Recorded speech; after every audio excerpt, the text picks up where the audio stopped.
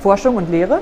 Also wir haben Projekte, an denen wir diese Materialien erforschen, in unterschiedlichsten Bereichen, wie gesagt, Batterien, Leuchtstoffe, Nanomaterialien, Leichtbau. Ähm, auf der anderen Seite aber auch in der Lehre. Ähm, wir haben sehr viele Studierende, die eben ausgebildet werden, zum einen in den Basis-Naturwissenschaften und dann aber auch forschungsgeleitet. Das heißt, die lernen im Prinzip, wie man diese Funktionsmaterialien designt und charakterisiert.